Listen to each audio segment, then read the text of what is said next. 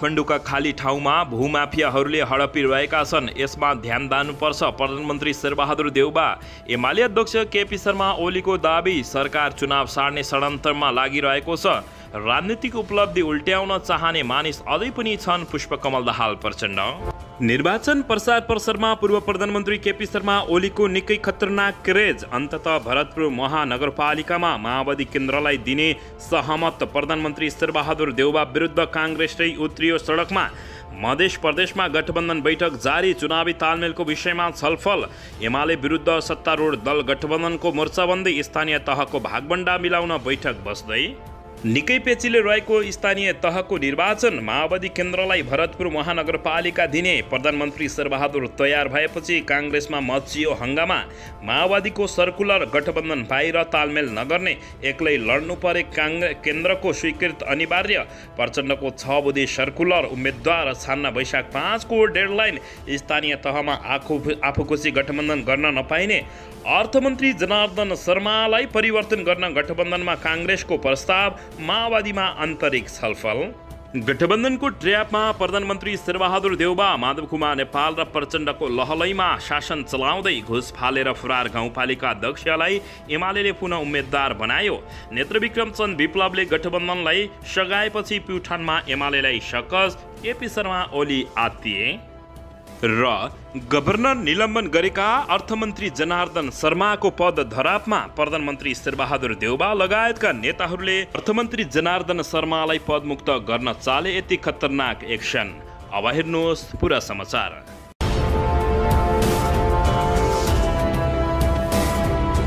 दर्शकबिन नमस्कार। तपाईँहरू यति बेला युवा नेपाली युट्युब च्यानल हेर्दै हुनुहुन्छ। दर्शकबिन यदि हाम्रो च्यानल युवा नेपालीसँग अझै पनि सब्सक्राइब गरेर जोडिनु भएको छैन भने सब्सक्राइब गरी जोडिनुहोला। साथै सँगै रहेको बेलायकनलाई दबाउन पनि नभुल्नुहोला। दर्शकबिन तपाईँहरूले हामीलाई कहाँदेखि हेर्दै हुनुहुन्छ कस्तो अवस्थामा हेर्दै हुनुहुन्छ?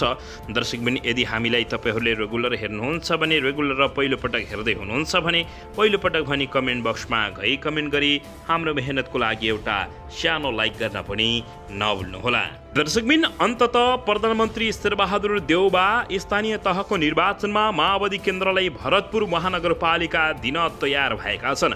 नेपाली काङ्ग्रेस सभापति तथा प्रधानमन्त्री शेरबहादुर देउबा आसन्न स्थानीय निर्वाचनमा पनि चितवनको भरतपुर महानगरपालिकाका मेयरमा नेकपा माओवादी केन्द्रका उम्मेद्वारलाई उठाउन सहमत भएका छन्।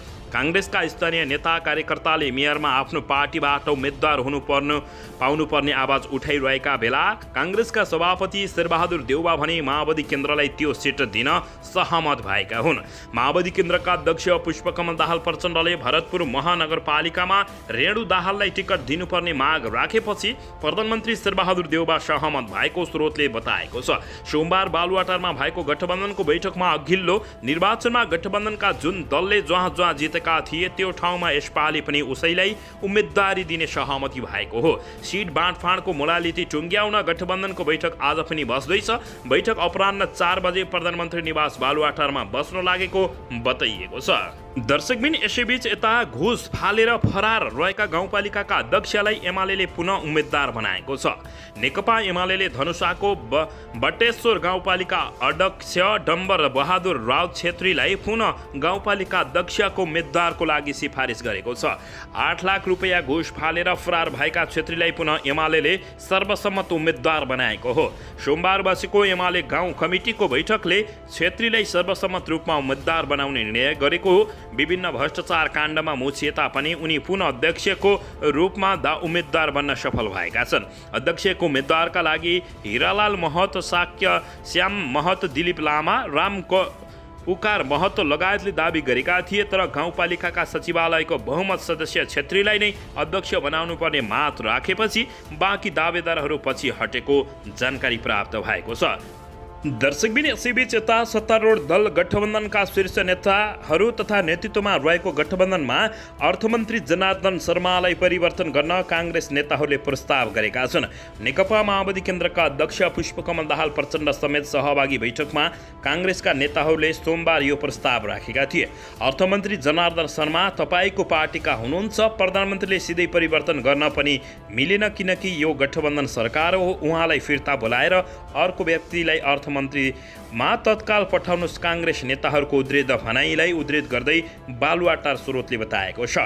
बैठकमा माओवादी अध्यक्ष पुष्पकमल दाहाल प्रचण्डले पनि अहिले अर्थमन्त्री मात्रै भन्दा पनि केही मन्त्रीको कार्य सम्पादन सन्तोषजनक नभएकोले परिवर्तन गर्नुपर्ने अवस्था रहेको धारणा राख्दै पार्टीभित्र छलफल गर्ने बताएका थिए।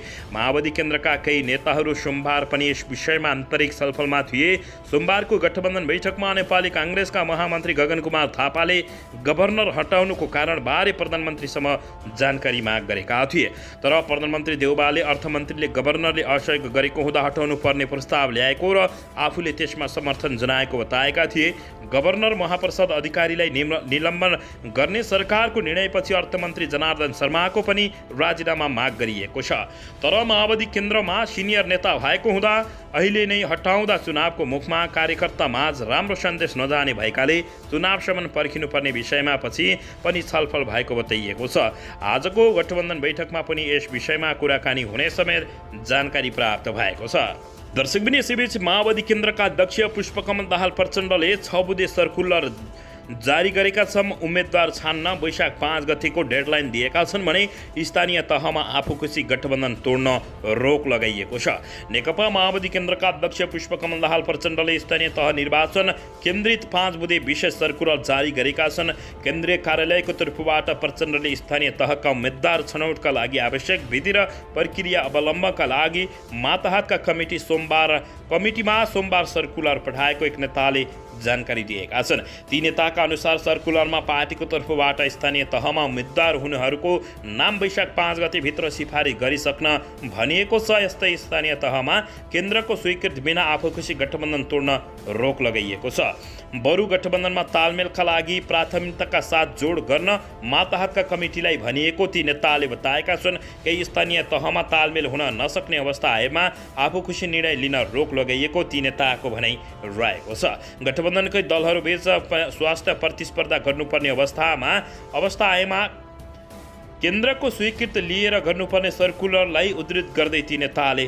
जानकारी दिएका छन्। दर्शकबिन यसैबीच यता प्युठानको एक पालिकामा नेत्र विक्रम चन्द विप्लव नेतृत्वको नेपाल कम्युनिस्ट पार्टी नेकपा सत्तारूढ दल गठबन्धनसँग चुनावी तालमेल गर्ने सहमति गरेपछि प्युठानमा नेकपा एमाले एक्लिने देखिएको छ।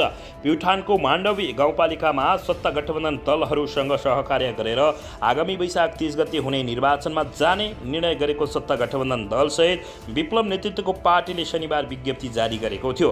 माण्डवी गाउँपालिकामा क्रियाशील राजनैतिक दल दलहरूको बैठक बसी वैशाख तिस गते हुने स्थानीय तहको चुनावमा दलीय अस्तित्व स्वीकार गर्ने गरी गठबन्धन सहित एक ढिक्का भएर जाने कुरामा सहमतिका साथ पेरेस वक्तव्य जारी गरेका छौँ विज्ञप्तिमा भनिएको छ। विज्ञप्तिमा काङ्ग्रेसका गाउँपालिकाका कार्य समिति उपसभापति ऋषिराम अधिकारी माओवादीका गाउँ कमिटी अध्यक्ष बलबहादुर खत्री जनमोर्चाका अध्यक्ष शङ्कर आचार्य र नेकपाका इन्चार्ज हरि बस्नेत हस्ताक्षर गरेका छन्। यसैबीच इन्चार्ज बस्नेतले आफ्नो पार्टी निर्वाचनमा नगए पनि स्वतन्त्र स्वतन्त्र रूपमा उम्मेद्वार उठाउने नीति लिएको प्रतिक्रिया दिएका छन्। उनले माण्डवी गाउँपालिकामा सत्ता गठबन्धनसँग सहकार्य गरेर जानु आफूहरू तयार रहेको समेत जानकारी दिएका छन्। दर्शकबिन पूर्व प्रधानमन्त्री तथा नेकपा एमालेका अध्यक्ष केपी शर्मा ओलीले अहिलेको सरकारले आउँदो वैशाख तिस गते हुने स्थानीय तहको निर्वाचन सार्नका लागि विभिन्न बहाना बनाइरहेको बताएका छन्। सोमबार सदरमुकाम चैनपुरमा आयोजना गरिएको आमसभा तथा पार्टी प्रवेश कार्यक्रमलाई सम्बोधन गर्दै अध्यक्ष केपी शर्मा ओलीले सरकारले निर्वाचनलाई बिथोल्नका लागि भए पनि प्रतिपक्षसँग न्यु खोजिरहेको आरोप लगाएका छन्।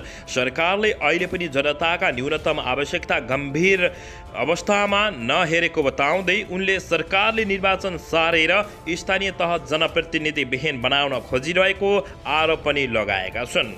दर्शकबिन यदि यसैबीच यता पूर्व प्रधानमन्त्री केपी शर्मा ओलीले बजाङमा पुगेर एमाले सात दिनभित्रमा यो सरकारको जलो उखालेर फालिदिने चेतावनी दिएका छन्। नेकपा एमालेका अध्यक्ष एवं पूर्व प्रधानमन्त्री केपी शर्मा ओलीले देशभरि एमालेको पक्षमा जनलहर उर्लिएको बताउँदै एमालेलाई जिताउनको लागि जनता चुनावको प्रतीक्षामा रहेको उनको दावी रहेको छ।